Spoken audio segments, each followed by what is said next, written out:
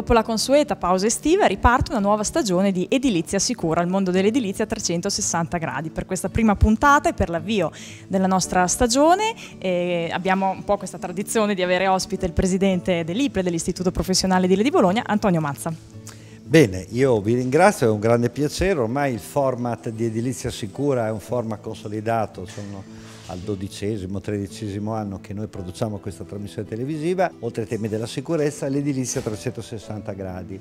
La crisi che nel nostro settore attanaglia questo mondo, tutto diciamo, la nostra economia ormai da anni e che nel nostro settore è una crisi molto importante, beh, noi abbiamo cercato, cerchiamo anche tramite la nostra trasmissione televisiva di lanciare un messaggio di positività nell'esigenza di una sana formazione che sia la base poi per un rilancio anche del nostro settore. E siccome poi la nostra scuola, che di tradizione quest'anno nel 2017 festeggeremo i 70 anni dalla fondazione, è una scuola che è partita per fare la, la formazione delle maestranze, ma nel tempo si è evoluta e oggi noi la formazione la seguiamo anche per tutta la filiera tecnica, eh, che eh, fa parte del nostro settore. Per esempio una delle nu nuove frontiere della diciamo, progettazione e anche della gestione del cantiere il BIM, questo sistema che nei paesi anglosassoni sta già entrando maggiormente nella consuetudine, ma è anche qui una, eh, diciamo, un aggiornamento da un punto di vista della gestione della cantieristica nelle loro varie parti di tutti quanti gli attori, eh, gli impiantisti oltre che l'impresa di costruzioni che oggi può godere di un supporto informatico che va preso e noi abbiamo iniziato dei corsi peraltro anche molto seguiti per i tecnici appunto perché questa è una nuova frontiera anche del supporto alla progettazione. Non dobbiamo fare mai una battaglia di retroguardia ma una battaglia di avanguardia in termini di nuovi, novità di materiali e del loro campo di applicazione.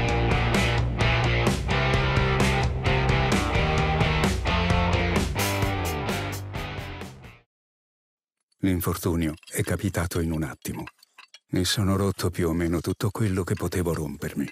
Sono rimasto scioccato quando mi hanno detto che non avrei potuto lavorare per cinque mesi. In ditta hanno fatto salti mortali per sostituirmi. Dopo la quarta operazione ero a pezzi anche coi nervi. Solo allora è iniziata la riabilitazione.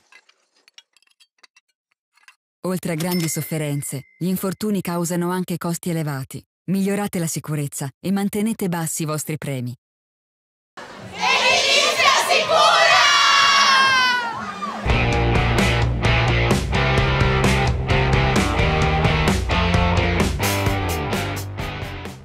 Una delegazione di francesi qui all'IPLE, studenti ragazzi per una eh, formazione appunto professionale. Come mai? Allora, qualche mese fa, a novembre dell'anno scorso, eh, un gruppo post diploma si è recato ehm, in Francia, a Chambéry, ospite di questo centro di formazione professionale eh, specializzato appunto in, in edilizia. E mh, mm, abbiamo voluto fare uno scambio, quindi siamo stati ospitati eh, da questa scuola che ci ha accolto ovviamente molto bene con un gruppo di, di ragazzi dell'IPLE e eh, quindi eh, tocca a noi adesso quindi stiamo ospitando un gruppo di 10 eh, ragazzi eh, apprendisti edili eh, che sono qui per ehm, imparare un po' di eh, edilizia bolognese diciamo particolare e per vedere soprattutto le fiere di questo periodo. Sono ragazzi questi apprendisti che fanno i pavimentatori per cui il Cersaie cadeva proprio nel momento giusto eh, e mh, mm, visiteranno la città anche con quel taglio diciamo. L'apprendistato in Francia eh, che ovviamente ha delle, delle somiglianze con, eh, con, il nostro apprendistato si fa ehm, in alternanza tra il centro di formazione e ehm, l'azienda la, la, per cui i ragazzi che arrivano nel centro di formazione in realtà sono lavoratori, non sono studenti, sono già assunti dall'impresa e fanno 13 settimane l'anno di formazione, per cui in modo alternato fanno impresa e centro di formazione, ma di fatto sono già lavoratori assunti dall'impresa. Abbiamo organizzato un po' di attività ovviamente, un mini corso mm, molto veloce sui pavimenti alla veneziana e quindi i ragazzi dopo una piccola teoria in aula hanno ehm, iniziato proprio a fare eh, con le proprie mani una sperimentazione, quindi a, a fare veramente pavimento alla veneziana che è un'eccellenza un anche bolognese. Hanno fatto fare ai ragazzi, eh, sopra, mh, mm, avevamo preparato prima dei telai, una sorta di gettata di campioni di come si procede e come viene realizzato un pavimento in veneziano. Quindi quello che stiamo vedendo è un lavoro fatto da, da Fatto questi ragazzi. ragazzi. Ognuno aveva una sua, praticamente un suo telaio dove hanno fatto, ognuno ha fatto un proprio disegno, chi ha fatto delle iniziali, chi ha fatto una barca, chi ha fatto dei disegni geometrici e ognuno ha realizzato quello che voleva con il materiale che avevo portato io, con la tecnica della terrazza alla veneziana, che è tipica di Bologna. Ecco, spieghiamola proprio così grandi linee. Allora, in grandi linee, in due parole, praticamente si tratta di una, di una sorta di impasto di terracotta, cemento, eh, con una semina di graniglia sopra dove viene battuta e poi viene coperta. Con una successiva levigatura viene fuori il, eh, il granigliato tutto amalgamato insieme al cemento. Eh, un, mm, per uno se vuole capire esattamente cos'è un pavimento alla veneziana basta che guardi i portici di Bologna. Tutti i portici di Bologna, se la gente quando cammina abbassa l'occhio lo vede, è quello un pavimento in veneziana, è una sorta di eh, misto di graniglia, di marmo di vario colore, rimescolata dove si possono fare vari tipi di disegni, ornamenti, centri, a seconda di quello che uno vuole e praticamente l'effetto finale è quello di un pavimento unico, eh, maculato a seconda della seta della graniglia, e to- fondamentalmente di colore rosso mattone con classico colore bolognese proprio. Ecco, e domani appunto per la prima volta immagino andranno appunto in fiera in qualità di posatori. Esatto, esatto, come posatori di ceramica. Questo non, nessuno di loro sapeva esattamente che cos'era, proprio hanno scoperto tutto stamattina.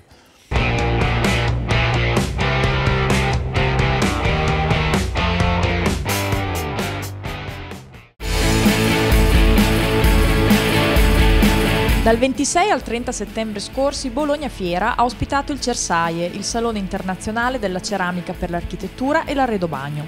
170 nazioni rappresentate, 852 espositori su 156.000 m2 di area espositiva, che lo scorso anno ha accolto 101.809 visitatori, dei quali quasi 49.000 dall'estero. Il Cersaie dà l'opportunità a professionisti, imprese e appassionati di esplorare il mondo delle piastrelle di ceramica e delle materie prime, di pavimenti e rivestimenti, di attrezzature e materiali per la posa. Ed è proprio sul padiglione Città della Posa che ci siamo concentrati noi di Edilizia Sicura, scoprendo novità e tecniche di questo settore.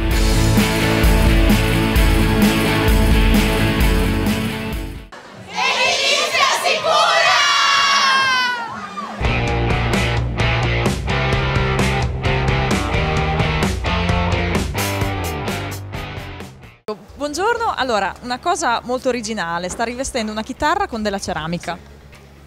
Beh, è una piccola idea.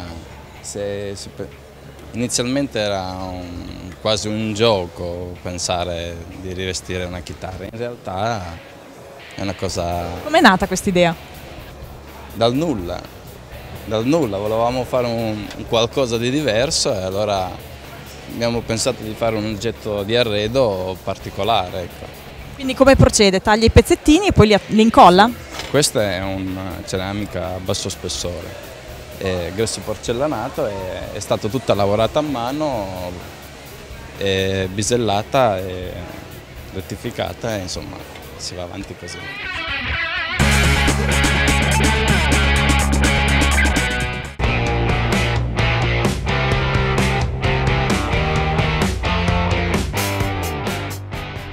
Questo è il quinto, il quinto anno che all'interno di Cersaie si dedica uno spazio, uno stand addirittura alla posa, la città della posa l'abbiamo chiamato. È un laboratorio nel quale si svolgono dimostrazioni di posa, seminari tecnici per testimoniare l'attenzione che i produttori di piastrelle dedicano da molto tempo oramai alla posa. Non serve a niente fare dei prodotti bellissimi, grandissimi, sottili, performanti, costosi anche, se poi questi prodotti che sono un semilavorato vengono installati male. Per cui il produttore di ceramica l'associazione della di ceramica si è preoccupata di allungare la catena del valore, si è preoccupata anche di ciò che avviene a valle della produzione della, della piastrella, cioè della posa, e ha promosso la costituzione di questa associazione che ha lo scopo proprio istituzionale di qualificare la posa italiana. Ecco, poi sappiamo che esistono due tipi di posa, verticale e orizzontale.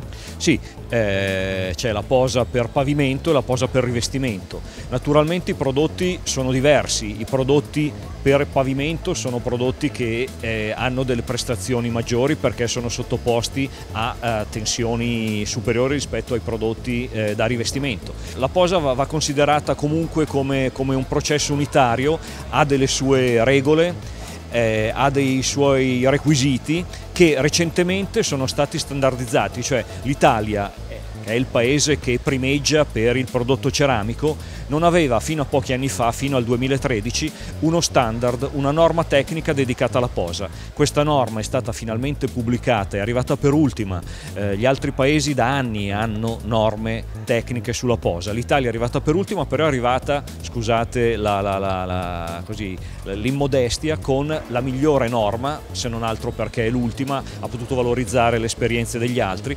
La norma UNI 11493 che finalmente ci consente di uscire dal vago, non si può più parlare di posa bella o brutta, di posa regola d'arte quando questa regola dell'arte è difficile da definire. Adesso noi parliamo di posa a norma, abbiamo una norma tecnica che per 60 pagine eh, di tabelle, di numeri e di requisiti ci dice come si fa a identificare la posa corretta. Quindi eh, attraverso questa norma si sviluppa questo sforzo di sistema di qualificare la posa italiana. La posa italiana è la posa che applica questa norma 11.493.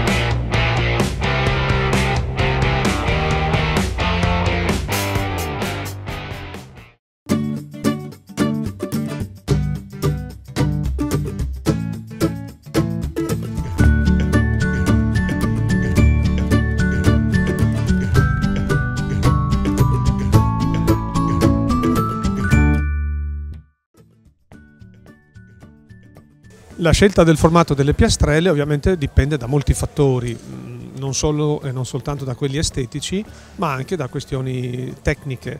Per esempio la superficie di posa, in genere per superfici molto grandi si preferisce scegliere anche dei formati più grandi. Viceversa, per superfici piccole, eh, frastagliate, con spigoli, angoli e così via, eh, si rende necessario l'utilizzo di formati più piccoli perché sono più facili da gestire nella posa ehm, i due estremi diciamo, possono essere quelli del mosaico dove la dimensione della piastrella arriva a 2x2 cm mentre con i formati grandi eh, si arriva negli ultimi anni veramente a dimensioni notevoli che possono coprire per esempio nel caso di un bagno la parete intera con una sola piastrella piastrelle ultra thin, quindi super sottili, di pochi millimetri di spessore, che richiedono ovviamente accorgimenti particolari nella posa, ma hanno il vantaggio di evitare completamente le fughe che nell'altro caso, di formati più piccoli, sono indispensabili.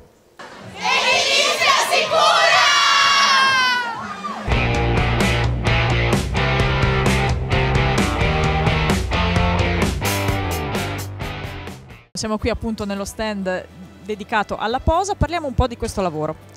Sì, questo lavoro, almeno per, per, il nostro pensiero, per la nostra filosofia, è un lavoro importante, siccome riguarda la finitura eh, degli appartamenti piuttosto che di bagni, piuttosto che tutte le strutture che possono essere rivestite oggi con questi grandi materiali, grandi formati e spessori sottili.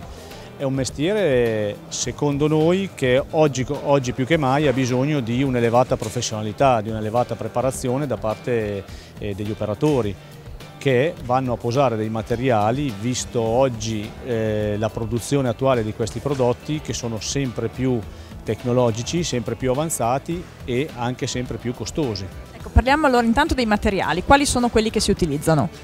Materiali diciamo che negli ultimi anni c'è stato un, eh, un, grande sviluppo e un grande uso del grande formato, infatti oggi qui eh, come potete vedere stiamo lavorando su delle lastre ceramiche ormai di dimensioni importanti, quindi queste sono di 3 metri per, per uno ma siamo già arrivati oltre con la produzione di queste grandi lastre. E come si svolge proprio il lavoro? Il lavoro si svolge in diverse fasi, come vedete qui comunque ormai un posatore non può più lavorare da solo, si parla comunque di squadra di posatori, data la dimensione delle piastrelle.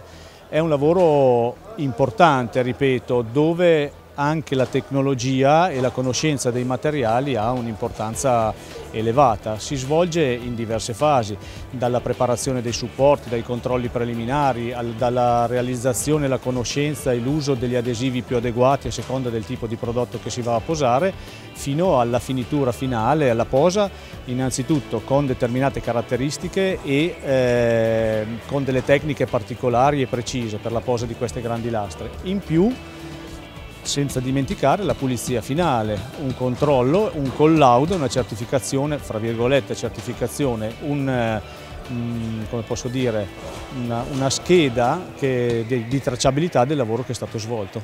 Parliamo quindi anche della collaborazione, del rapporto con le scuole edili. Assoposa ha messo in piedi, in collaborazione con le scuole edili, un sistema di eh, attestazione professionale, cioè un sistema teorico e pratico per valutare la qualità professionale dei posatori. Assoposa organizza eh, in tutte le province dove c'è domanda formativa, dove ci sono posatori che vogliono essere attestati, dei corsi che durano 40 ore, sono corsi teorico-pratici. Questi corsi vengono organizzati nelle scuole edili, proprio in collaborazione con le scuole edili. Noi come associazione ormai abbiamo fatto corsi praticamente non dico ovunque, comunque le città dove siamo stati più importanti, da Reggio Emilia, Parma, Lecco, Cuneo, Novara, Taranto, abbiamo fatto diversi corsi in collaborazione con le scuole edili proprio per un, eh, una professionalità, per fare avanzare professionalmente posatori già esperti ma anche per eh, aggiornamento o anche per ragazzi che si vogliono avviare a questo mestiere. Questo corso di 40 ore, questo corso di attestazione professionale, questo corso che trasforma il posatore semplice in piastrellista o addirittura in maestro piastrellista si muove, raggiunge i posatori dove eh, sono concentrati e organizza a loro favore questi corsi di attestazione professionale presso le scuole edili.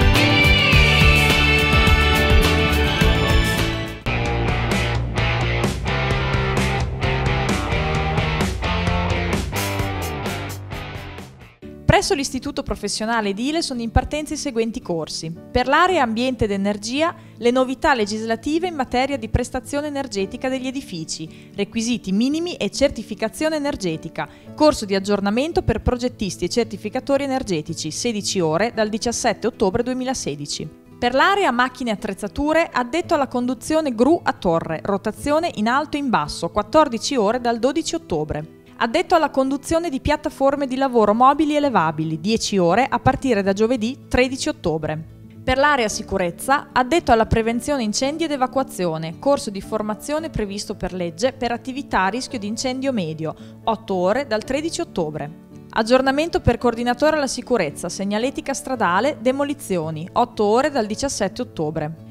Formazione e sicurezza lavoratori del settore costruzioni, rischio alto, 16 ore a partire da martedì 18 ottobre 2016. Aggiornamento sicurezza lavoratori del settore costruzioni, rischio alto, 6 ore dal 21 ottobre.